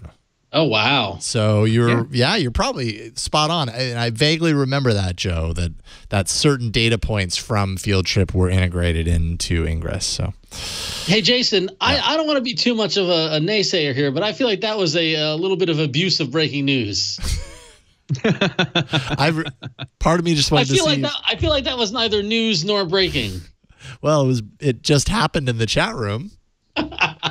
I needed You're right. practice. It was it was abuse of power, and I apologize. It was a but little bit. I wanted to see if Kevin could do it. The one time Jason ever abuses his power. it's the breaking it. news bumper. You you got me. Uh, Ron, you got the next story though. I do have the next story, and anytime Google does anything with YouTube uh, um, or anything like that, it's always worth noting, um, especially with the comments, because you know YouTube comments are fun. It's a great place to be.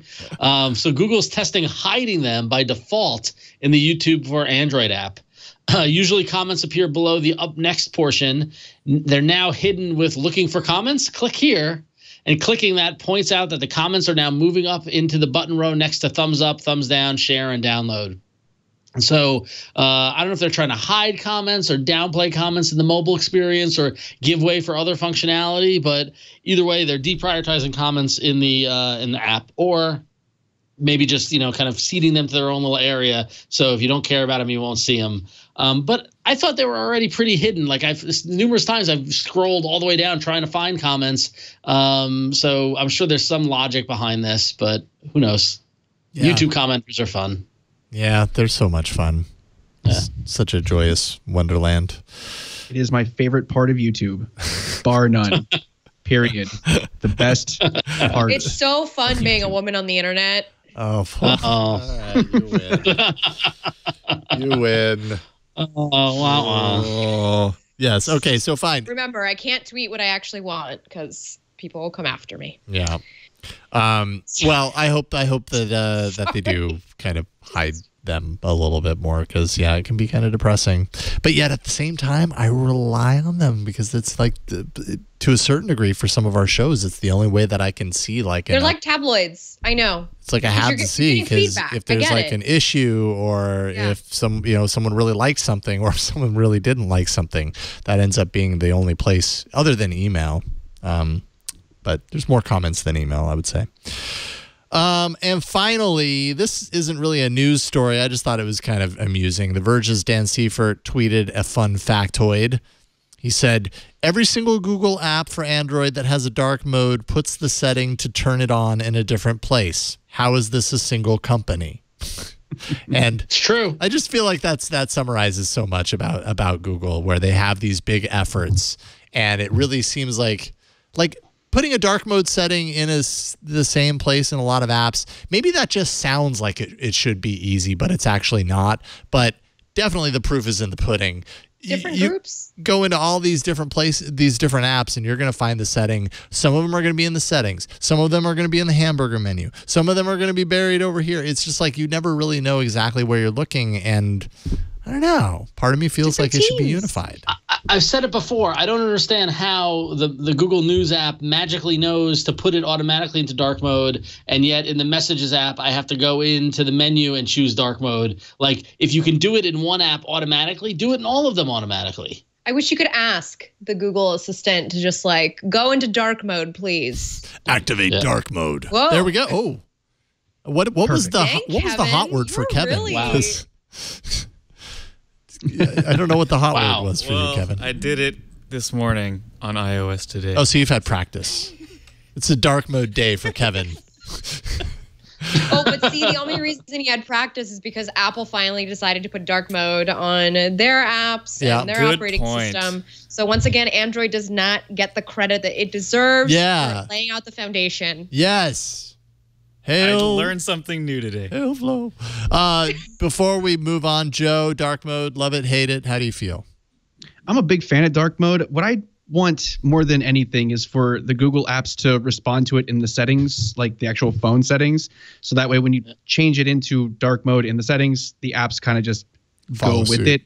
Because it reminds me a lot of, uh, at least Samsung. I don't know if LG's apps do this too, but like Samsung themes, when you install a theme on a Samsung phone, it automatically works in the phone app and the stock messages app and Samsung's email app and whatever other Samsung apps are on the phone. Yeah. I don't know why Google doesn't do that because that automatic the automatic dark mode thing seems like something very googly to me. Mm-hmm. Yes. You could like- use AI for that. Exactly. Yeah. Use AI for it. You know, the sensor senses that it's eight o'clock, nine o'clock at night, the sun's going down. Rip, everything's in dark mode, and it's perfect. I Why do you know what? That is absolutely right, Joe. Why doesn't it go dark at night? Why am I still having white backgrounds to keep me up at night? This is just I totally agree.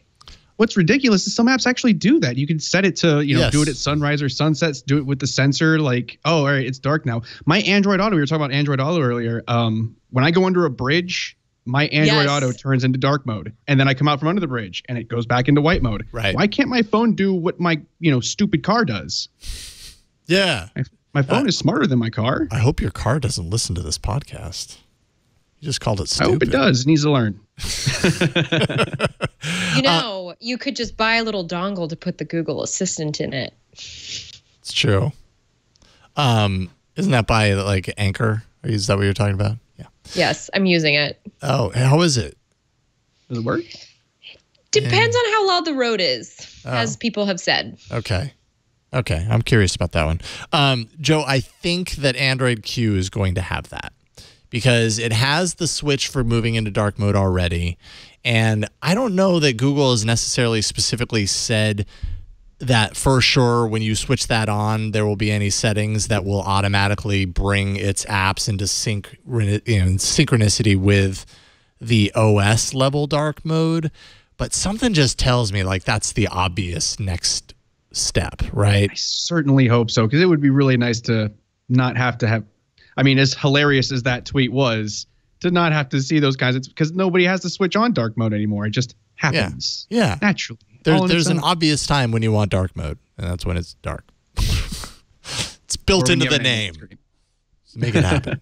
yeah, it shouldn't be too difficult. I would be really surprised if Q came out um, and that wasn't one of because you know how Google likes to like now in the in the days of the public betas, they save a few things for that launch, and then you realize there's things embedded in there. I wouldn't be surprised if that's just one of those things at the actual launch. I'm a Um, big fan of Google trolling people with their first beta every year. It's always it always includes something that either everybody wants that they eventually remove, or something that everybody despises that they eventually remove. Yeah, Every year, yeah, like so clockwork. true. I love it. So true. Uh, let's take a break, thank the sponsor, and then we will get into the arena where Joe will tear our faces off. Uh, Whoa! but first, I just say that because you're the apps guy. I'm sorry to call you the apps guy. You probably hate that. this episode of All About Android is brought to you by Behind the Tech, a podcast from Microsoft. You already enjoy listening to podcasts. Here's another one for you to check out. Chief Technology Officer Kevin Scott takes you behind the scenes with tech innovators, pioneers, and into the history of computing. Uh, previous episodes, he's talked to Danielle Feinberg, Pixar's computer scientist creating magic through lighting. Uh, Jaron Lanier, uh, many people call him the father of virtual reality. Also, Reid Hoffman, investor, author, entrepreneur, and best known for co founding LinkedIn. Uh, in the most recent episode, Kevin spoke with Surya Ganguli, an innovator in artificial intelligence, uh, from quantum mechanics and string theory to monkey brains and electrophysiology mapping. Surya's take on AI may surprise you. On Behind the Tech, you're going to hear what inspired their guests to author languages, to build the tools that made an impact on the lives of developers and engineers uh, today. And if you're early in your in your career, you're going to learn about the history of the tech industry, but you might also be from Kevin's era. So you might even think as you're hearing these stories, man, I totally remember that uh, being like a nice nostalgia trip for you. Subscribe to Behind the Tech wherever you listen to your podcasts. Uh, it's Google Play Music, Apple Podcasts, Spotify, Stitcher, Libsyn, anywhere you find your podcasts, uh, uh, you're going to find Behind the Tech. Sign up, tune in, and geek out at Behind the Tech. And we thank Microsoft for their support. And now, Kevin, it's time for the arena. So many enter, ah, but only one lives. Android Arena. Last week, twit.to slash AAA poll 425 is where you went to place your vote for your favorite app. Looking at the results, hitting the review results button, and I see that Clipboard Manager Pro is the winner. 30, well, basically 37%. Flo, that was yours. Victory. Man, Flo is on a roll. On fire. On fire this year. I'm trying. Good job. Ink It's- Hunter. It's really hard. By the Yeah, way. it is. It's Uh, very Play hard. Store is full of a lot of garbage. that is true. Clipboard Manager Pro, first place at 37%. Ron's Ink Hunter, uh, 30%, second place. Uh, Asphalt 9, 17, uh, right around 18%. That was Team Guest. And then Letterboxd was mine. People don't like movies, apparently, 16%. It's a cool. It's Letterbox is a cool service, Jason. I feel like they deserve more, but okay. it came in last, which means that you have, after 24 weeks, 48 points, which puts you in last place. Wah, wah, wah. I'm in third place, pulling away from you with 52 points. Uh, the guests are still in second with 67 points, and Flo extends her lead in first place to 73 points. My goodness, you Quite guys. dramatic. It's a runaway season this year. Flo is in the driver's seat. Yeah. So that means Jason goes first, then Yep. I go, then Joe, then Flo. Uh, sounds Yeah. sounds uh, Let's sounds make good. let's let's make Flo go right now. Oh no, we Yeah. can't. Okay, I'll, uh, Jason, you go first. All right, I'll go first. I'll go first.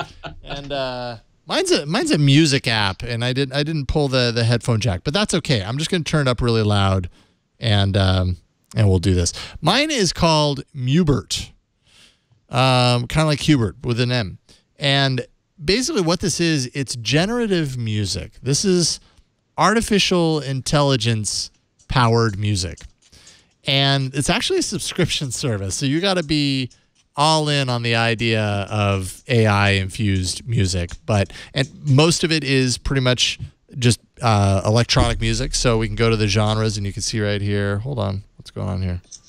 Oh, do you happen to have this on the? Oh no, it's not going to work because I don't. I don't have. Never mind. You just gave me the, the adapter. Okay, give me one second. I'm going to plug this in. Burke very handily sent me what I need in order to plug Burke's this in. amazing.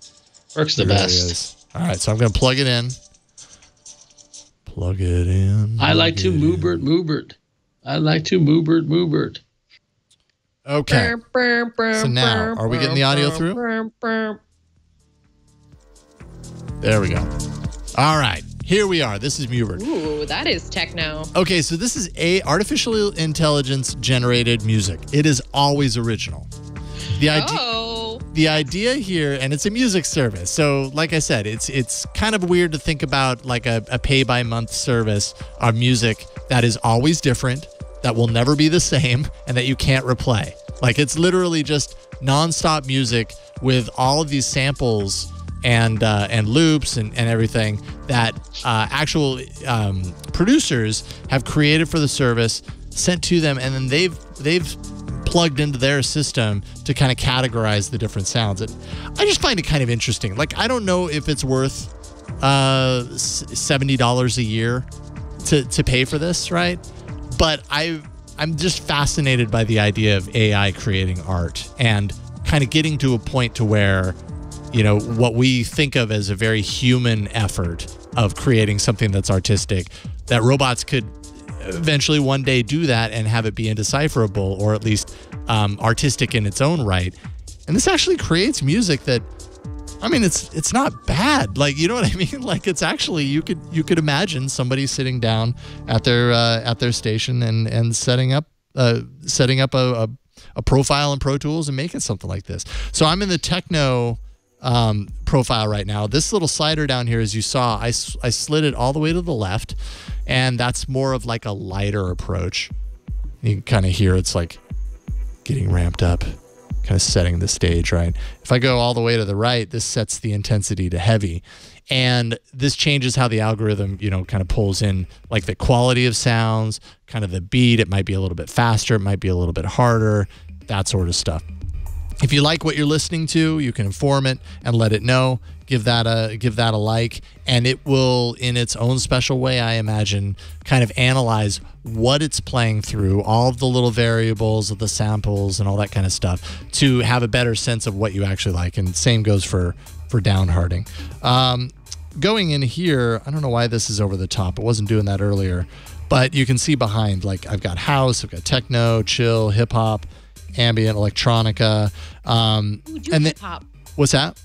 Oh, I haven't done hip hop. I want to. I could see hip hop falling on its face. Let's Curious what here. AI is gonna do. I am too.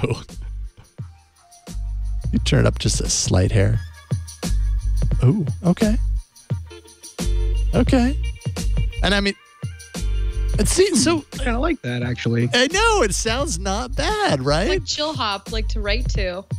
Uh, so okay, I like that. You know, plus yeah, one. exactly. Chill hop, something to chill with. Yeah, exactly. And so you go over here to activities, and that's exactly what you find here: relax, work, study, uh, dream, hi, uh, meditate. You know, they know their audience. Yes, well, hey, hey, there you go. Uh, meditate if you want some meditative music there. Uh, you've also got random and experimental. Again, I don't know why that's over the top. It wasn't doing that to me earlier. Apparently, every once in a while, they'll give out secret codes that will plug you into like specific um, artists and artist collections and stuff like that. I haven't. I haven't gotten anything to plug in there, uh, but you can do that at some point. And then any of the favorites that you star, you know, would show there to kind of start your radio station. But uh, I just I think it's a really interesting uh, idea, really interesting concept. I'm gonna go back into hip hop and get heavy with it. See what happens. Uh, who knows? Maybe it'll sound similar. Oh. Uh? It broke itself. That's part of the song. That's the drop. Yes. Is it bad that this sounds like an ICP song to me? I don't know. I- I think it's bad that you know what an ICP sound, sound, so- song sounds like, Joe. Uh, there's not a lot to do in Columbus, Ohio. oh no. I am curious about this as I as I sit here kind of thumbing through it, like the idea of coming up with music for projects. I wonder what the licensing is on some of this stuff. yeah, because it's it's all Yeah. dynamically created, right? It's all Like- dynamically created. It's all original. It's all instrumental. Um, so that's something to investigate. I'm not saying that you could like download this app and then repurpose all this music and and go nuts in your video projects or whatever. From a high-paid recording artist. Yeah, but I mean, this is an interesting idea, right? And like, I know, I know for myself, sometimes when I'm like meditating, I want, you know, sometimes I want a guided meditation. Sometimes I just want nice, mellow, no, you know, no complexity music. And doing the meditate, you can kind of get that, kind of get the nice, smooth sounds, and you know, that you don't really have to think about it. You just throw that on, start your meditation, and there you go. So, anyways, Jason, you you you recognize that this is how the robots lull you into uh, servitude, right? yeah. Like this this is this is a, a Skynet tactic. Yeah. it's it's okay. You know, if if the robots are going to kill me, at least play some meditative music while you do it. You know? And you can do that with my app called Mubert, and that is it. So it's six ninety nine a month. There is a seven day free trial if you just want to, you know, kind of um, check it out for yourself and see what you think. Uh, and then, or you can pay by the year and save a little bit. Uh, apparently, it's all the rage in Japan. At least that's what they say on their website. Uh, so, anyways, there you go, Mubert. I like to Mubert Mubert. Ron likes right. to Mubert. Sorry, and So now I- the music's got to go away. I will turn it down. Now the music's gotta stop. All right, so I know I'm on a I know I'm on a bit of a kick with this AR stuff, um, but I'm really finding it fascinating the stuff you can do. Uh, but many of you, maybe many of you in the audience, I don't know the folks here on the panel today, um, but uh, apps like Snapchat and Instagram Stories and things like that, you have the ability to put pre-made uh, stickers and gifs and things like that over your photos. But I wonder if you've ever wondered, you know, I, I th- these stickers and, and gifts and stuff like that are cool, but I want to put my stuff on my photos. Well, Doodle Lens lets you do just that. Um, what it does is it allows you to capture a uh, a design or a sticker, and then apply it on top of photos. So what you want to do is you want to um, put it on a white background. You can draw something. What I found best to work is a clear black uh, marker on a white piece of paper, right? And so Jason here is going to draw. He's what people don't know is Jason is a great artist. Um, it's a it's a hidden talent of his. He's a good cartoonist. Um, and here he is drawing someone who looks like a popular uh, animation character. Um, I stopped learning how to draw when I was very young, so Right. everybody looks like Bart Simpson. Okay, Okay, so now what you can do is you can it, uh, in the app it opens up. It looks very similar to like a Snapchat or something like that. Very simple uh, UI on the on on the app itself. Um, and if you uh, try to get the whole pe- white piece of paper for the whole screen, just so you can kind of capture it that way. All right, if you hit the lower left hand corner and say copy, hit that. Okay, so now what it does is it picked up that dot, and now if you hit paste, uh, it just put that little thing on, on your screen and then now as you take pictures it applies it to your lens as you put as you do it with oh, okay. I'm really happy that Sharpie didn't land uh, ink Yeah. down on my pants because it just fell. That's pretty good. Almost did. Um, okay, Yeah. so now it will track around it and everything. yeah it Oh, tracks yeah. where it is based on where you put it with the grid and you can put it there Nice. and yeah and that's pretty much how you could put your own stickers onto uh, onto photos. It's pretty cool. And you could either take video or you can take a screenshot um, and then you can share it and uh, and share it to your social medias. So yeah and see now you, by by fi- putting your finger on it and dragging it you can move it around on the lens. Pretty cool huh? Make it really big. yep That's a bad picture. Um, but uh, yeah, so this is this is neat if you have your own, if you're an artist or if you have um, uh, pre-made designs or things like that. Here you can see in the video, um, you can add in color uh, um, and other things like that. Um, and they've got these neat kind of like advanced tools that allow you to get rid of the background. So you're making sure you're just grabbing the uh, the uh, what you've drawn, and you can also animate it. You can drag, you can um, get several different frames and make a little animated version of it, and you can shoot video or take pictures with it. Um, for pictures, you have to take a screenshot uh, from uh, as opposed to uh, taking just a photo uh, photo photo. Um, but it's a neat little neat little app that allows you to bring your own stickers onto your photos and videos. Doodle Lens. It's a dollar ninety nine in the Google Play Store. Support your devs. It's it's done by a young independent developer who has patrons and all this sort of stuff. It's pretty cool. Um, I like it. I think it's neat, and you can be creative with it. nice. Dollar ninety nine. Yeah, and I found the uh, color, the color uh, portion. You when you let's see here. So you got this interface when you tap. Oh, did I just get rid of it? Anyways, when I had when I had it on there, uh, I would tap the screen and it gave me the little color Yeah. option. So And if you hit the menu button, it brings up some of the other options. Um, you can have the AR planes where you can see the do- the dot pattern of the AR plane of what you're adding to it. Um, and you see Oh. there, you can see how it goes. And also, when you hit menu, you can see the um, the paste that you've saved, so you can go back and use previous ones. oh, there we go. Okay, so Yep. now I can show you color. And there Yep. we go. That is so Pretty cool. cool. Nice. See your true colors. There it is. Awesome. Yeah. That is Doodle Lens. Pretty neat. $1.99. Very neat. I like it. Uh, okay. Joe, I have your game installed. It ate up about a half an hour of my day when I should have been working. Thank you very much. Surprisingly fun, isn't it? Yeah, it is. I love these games. Uh, I'll show it off while you talk about it. Tell me about it. Okay. Um, the thing is that there was used to be a whole lot of tower defense game releases. Uh, Yeah. I remember, you know, Iron Marines was last year. Oh, Uh, that same developer, yeah, this, the same developer did another one, and I think it's because we're on live. You know, we're doing a live show, but I've, I've just space cased on the name of it. Um, but it, it hasn't. It's not as popular as it used to be.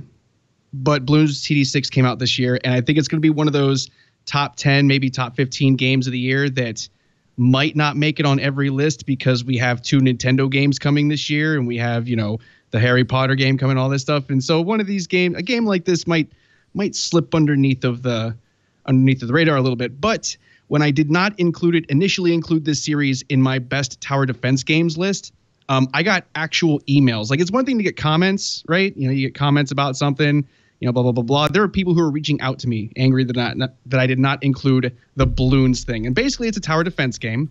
Uh, it plays like a really standard tower defense game. It's really easy to get into and use. You drag, you know, little monkeys from the right side there. You put them on the map. Uh, there's a little radius there, and they attack any balloons that kind of go into that radius and pop them. The balloons change shape, have different abilities, and all of this stuff. It's it's a really really standard game uh, for that. I think there are what about two dozen levels. Um, each monkey can be upgraded a bunch of times, but you don't get all the upgrades at first. You actually have to play through the game and use all of the monkeys to gain them levels. And as you gain them levels, they learn all these other additional abilities. So you have to play basically the whole game on easy and then medium and then go back and play it again on hard. Uh, I've been playing this game for a couple of weeks now, and I have gotten three levels into hard and I'm stuck there. So it, it does get intensely difficult over a long period of time. And um, I mean that's that's basically the premise of it. It's five bucks. Uh, there are optional in-app purchases. You don't need them in the slightest to beat the games. And um, honestly, after you get through it on easy and medium, uh, most of the in-app purchase stuff is unlocked naturally through the gameplay anyway. So I'm gonna say four bucks, and you get the whole game. Nice. Yeah, it's fun. It's a fun game. It's kind of, uh, you know, at first you just see the balloons coming down and you're like, all right, cool. So this will never be difficult because the balloon, you just keep capturing them there. But as you get, you progress, you know, there's balloon, like steel balloons that uh, are resistant to certain, you know, types of, of hits and a, a number Yeah, of balloons gets- that come out that have to be hit three times in order to disappear. And it gets super co- complicated. And so you got to set up your, your kind of tower defense line. I um, love when a good tower hard defense. mode, they start they start stacking these things too. So it'll be a metal balloon that's also camouflaged that also takes three or four hits to to defuse. And so you, you can't. There's no one unit that can you can just lay over and over again. You kind of have to have enough of a variety to take care of the camo part and then the metal part and then the other parts. Otherwise, they just walk right through and nobody shoots at them. Yep. Yep. But I mean, it's it's a cute little game. There's you know it's family friendly. There's no like blood, Right. gore, war stuff in it. It's it's monkeys throwing darts at literally throwing darts at balloons if you look closely enough. So you know it's one of those family friendly games. You know, nothing too intense, nothing too ridiculous, except for you can totally sink like three hours of time into playing this game and not really realize it. That's what happened to me this morning. I'm like, oh, I'll install it and I'll play through the little tutorial because it's always annoying doing the app review and showing the tutorial. And then I just got sucked into it. And then I was like, damn, Oh, right. I need to be Um, working right now. That does remind me um, google play games achievements and uh, google play cloud saving services. And i think it has like a backup or a secondary. I think you can log in with facebook and backup that way and you can get transfer codes and backup that way if you want to. Uh, i found that google is the easiest one because I, I started playing this when i had my g8 and then i just logged into google and continued on on my s10 plus. Uh, this thing does eat your battery up though. Uh, Oh, pretty well. Nice. All right. This is a good pick here. It's Bloons TD6. Is that right? yes Sorry. My, uh, I love tower defenses, man. They were so much fun. yeah, man. They there were so many of them for a while there. Yeah. Yeah, and they kind of fell off, and they're, they're almost kind of sort of having a little bit of a renaissance, at least with the release like this. You know, and, and I mentioned Iron Marines last year. I really wish I could remember the name of that other. I'm gonna look it up really quick. I'm sorry. It's all good. While you look it up, we'll uh, we'll check with Flo on her app, which I also have installed. There Is she is. Well, I, you know, I didn't want to presume. Also, the sun is setting, and it's you're gonna get a glare. Sorry, everyone. It's all good. Um, so I brought a very, very utilitarian app, and it's just, you know, if you live somewhere where you have access to rideshare, sometimes you're like, I'm not sure which one to get. I'm not sure which one is nearby. And so that's what any ride is for. Any ride basically helps you choose between Uber and Lyft to see which one is cheaper, to see which ones are closer. Um, it just kind of helps you, uh, you know, whittle down all those apps and having to kind of go through them to figure out like what you want to do. Um, so I already tested this today. I accidentally called rideshare to my house um, twice, so it does work. So I'm not gonna not gonna tell you, Jason, to call a ride because it's like totally does a thing. Um, so if you don't have an Uber uh, account linked up, you will not see um, the prices for that. But whatever you do have linked up, you will see. Um, and you can check from different kind of uh, categories. They're at the bottom, like how much it would cost to take a certain, uh, maybe a Lyft black car or a Lyft. What else do they have? XL, which is like the really big one. Lux Um, Black. Yes. Yeah. I'm, I And only go to McDonald's in a luxury uh, Lyft. So just go ahead and tap on that. I- Just tap on. uh, Yeah, you're not gonna. Yeah. So from here, don't don't uh, select request now because what it's going to do is in the background it's going to send off that um, request to the Lyft app, and then the Lyft app is going to do all the heavy lifting, and then the Lyft app will pop up and take it from there. So this is literally just a liaison app. It's just so you can put it on your home screen and have this be the first thing that you go to.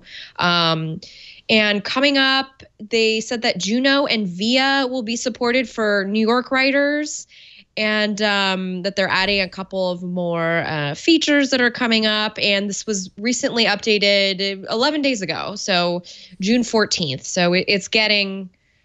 Oh wow, that's well, yeah, it's all the way to San Francisco. It's pretty far. Yeah.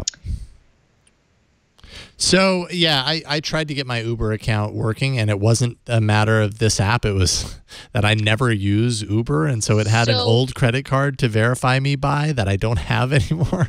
I had the same problem with Uber signing up for it today. Um, I think something's going on, which is a bummer for me because then you don't get to see my app exhibit, exhibited. But um, but I used it and it works for Lyft at least. So And and the cool thing is here, it's it's comparing between both. So if you're if you're going purely on price, yeah. you can know which is the uh, which is the cheaper fare, and Or if you zoom in all the way, you can also see all the little cars on the map.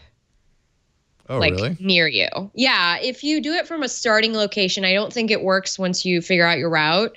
I think Oh, it's I just see. starting. Yeah, because it'll basically show you like which Lyft and Ubers are toiling around looking for fares, but ultimately it's up to them to accept how far you want to go. So. And Oh, now there's no the Lyft drop-off. driver near you right now. Yeah, there isn't a whole lot of Lyft action happening Yeah, in Petaluma. not not out in the industrial area. Um, I live near a downtown area, and it was pretty bustling, which is why I was able to get someone within a minute. And I felt bad, and I said, "Don't come, please." I mean, there's usually at least a couple bouncing around, just not seeing them. Oh well, Oh well. It's hard out there for a Lyft. uh, all right, so that is any ride. It is free and it will combine uh, multiple rideshare apps. I think that's actually a pretty awesome utility to have. I was just a few months ago. We were wishing for this app, so uh, I'm glad to hear they're adding Juno because that's what I use in New York. But uh, yeah, this, this, that's that's handy. I'm surprised surprised it took this long for this to exist. Yeah, no kidding. Yeah, I guess the APIs Yeah, I'm are open. So I'm actually kind of surprised it does exist. Yeah, right. Yeah. You Yeah. think that they would have? I, I I wonder how long it's going to last. Is a better question. Yeah, before somebody shuts an API down and prevents stuff like this from being Yeah. useful again. Because I was I was thinking about the messaging apps you were talking about Telegram earlier, and it's like you know I was thinking back, you know, you know, an all-in-one messaging app. that's a dead industry now because everything has its own proprietary thing. So I think it's really neat that you know there's at least one thing you know all in one. You get the Juno, the Lyft, the Uber. Like that's really cool. I like that. Yeah. Yeah. Yeah, I like it too. That is And the developer is in San Francisco. If anybody would like to know. Support your devs. Support your San Francisco devs. All right, so twit.to slash AAA poll 426 to place your vote for your favorite app this week. Is it Mubert, Doodle Lens, Bloons TD6, or any ride? Go to twit.to slash AAA poll 426 and uh, place your vote, and we'll check in on that next week. Uh, if you could vote, what would you vote for, Kevin? Uh, he he probab- can vote, actually. Probably You could. Moobert. Mubert. I like I like to Vote. move Do it, it, Kevin. move it. Do I, li- it. I like the way you think. Yeah, go ahead and drop that cursor on Do Uber it. and make it so. Click the button. Make it happen. Yes. All right. So there we go. All right, They have- someone uh, I think Flo's in the lead currently. I think. Any Ride is in the lead with three votes. Doodle Lens and Mubert at two votes. Bloons, nothing yet, but it's still early. Don't worry. I have faith in you, Joe. Um, I just want to give Joe uh, just a um, a thumbs up, a 100 for that app pick because that's the kind of app pick that comes from somebody who knows their apps. That's like that's like a deep dive find in the Play Store. Yeah, a little bit. I mean, whew, I got some stiff competition this this week. You're like, oh man, Lyft and Uber in the same app. Oh, I'm going down so hard this week. you just never know though you never know although you know Flo has Flo has some impenetrable force uh, The going voting on this the, year the voting audience is fickle. You don't know what will resonate with them. yeah you never Very know Flo. Flo has Flo has some good vibes going, but we're still we're very early in the year, and there's still a whole lot of weeks to go. Holy My cow, candle's yeah. still on. that's right Yeah.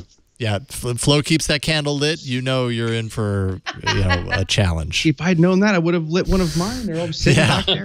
I didn't mean, tell it is you that. I 100 in apologize. this room right now, so usually And- that's in and- my It's all like about setting intention, Joe. She's gonna put the Sisters of Mercy back on, and then we'll be all set. uh, Joe, it's been great having you on. Thank you so much for hopping on with us tonight, and we hope you'll uh, come back soon and school us uh, once again in the arena, possibly. Anytime you guys want. Right on, Joe. AndroidAuthority.com. Where do you want people to kind of find what you're working on, and are you working on anything uh, that you want to talk about right now? Um, it is the end of the month, which means I'm hilarious. I've already worked on all of the big things that I'm going to work on uh, until July starts. But um, if anybody wants to follow me on Twitter, I love to argue with people and chit chat and and all this stuff about anything, basically. Um, at that Joe Hindy on Twitter. Um, we also have uh, a you know a tech podcast for Android Authority podcast. That's right. Um, so Jason, you've been there before. Yep. And uh, we actually had a Megan Maroney on there not too long ago. So, and if any of you guys want to come on too, you know, you're more than welcome to. But uh, that's androidauthority.com slash podcast. And we do our uh, show every Friday, I believe. Nice. Right on. Yeah, it was a fun fun show to do, and uh, you guys do awesome work, and we're just we're we're fans. So it's awesome to get you on, and thank you for uh, for hopping on with us tonight. Really appreciate it. Thanks for having me. Absolutely. Uh, Flo, why don't we start with you since the candle's still burning? What you got going on? Dang, you are fast with that stuff, Kevin. Wow. fire Tonight. Literally. Um, what have I got? I, you know, uh, Fourth of July is coming up. We've got a holiday coming up. I'm going on vacay. My best friend's getting married, so I'm not really working. I mean, I am working, but not. Just FlorenceIon.com. Find me on Twitter at Oh That Flo. Find me on Instagram at Oh That Flo. Come follow me on Twitch because I am streaming all of this work that I'm doing with these gaming PCs, and I am just playing through Skyrim again. So This is just an excuse to play games, isn't it? Yes, but it's oh, I'm hosting All About Android right now. um, well, actually, last Sunday I had a whole stream building this com- this keyboard. So there's a lot of um, I'm coming up with a lot of things that I can. I can That's do. Listen, it's lonely out here in the suburbs. Okay. Yeah, I understand. I understand. That's that's why all the goth. We get it.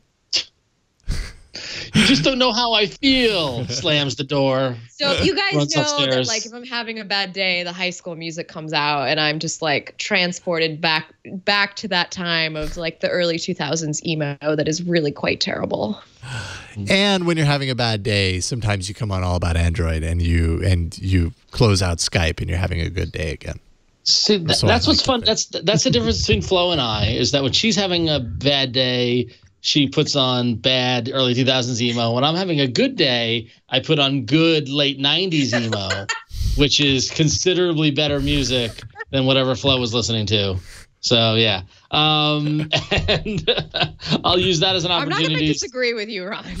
I'm just saying, you could listen to more Braid and more Texas is the reason. Life would be better.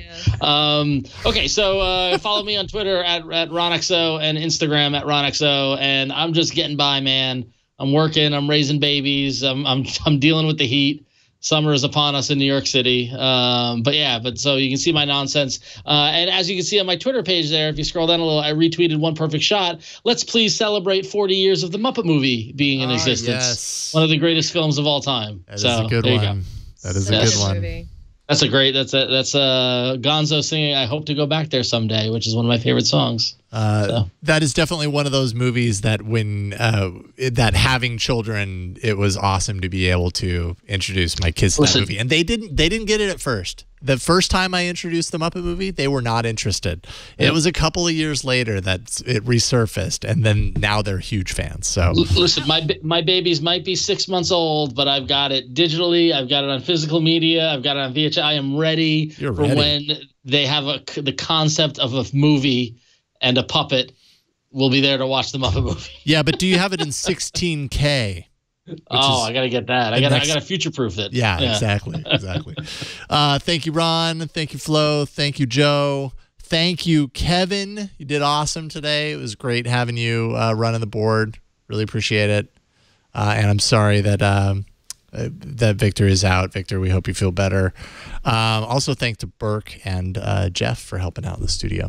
And uh, you can find me here on Twit, just doing shows. You know, I'm actually going to be out next week, so I will not be on the show next week. We'll be on vacation. Thank you, Flo and Ron, for holding down the fort while I'm out. I'm sorry to do this to you once again, but I really do appreciate it. Uh, but that is it for this week. Leave us a voicemail 347 show AAA. Send us emails at AAA at twit.tv. Find us on Twitter at Android Show. Uh, you can find a show page where we are laughing hysterically at twit.tv slash AAA. It's a thing that we do a lot on this show. Uh, you can find all the subscribe links. You, you can find it. It's, it's a great picture, I have to say. Uh, you can see that we record live every Tuesday, 8 p.m. Eastern, uh, 5 p.m. Pacific uh, 000 UTC. There's your subscribe audio link. Kevin is showing everyone right now. There is your to subscribe video link if you're wondering where it is and can't find it with your eyes. There it is. And so much more information listed there. That's really the place that you go uh, to subscribe to this show. And we hope that you do. If you haven't subscribed, do it. And uh, I think that's it. We've reached the end. We'll see you next week on another episode of All About Android. Bye, everybody. Bye with all my tablets, wide shot. Oh, you're going to play the okay. See you So later. many tablets. Great. the, the music. Oh, oh, it's one of these that. Remember when the outro used to do this? Am I supposed to do that? No, no, no. Keep Yeah, it going. I You go on the wide Astro shot though, because this this was how it was sometimes. The uh, the music would start playing. It was nice. It would be a little awkward because we had to like wait for the music to end, which is what we're doing right now. And now we've reached the end, but kind of it's still playing, and I think it's still going. But we'll see you later. Bye.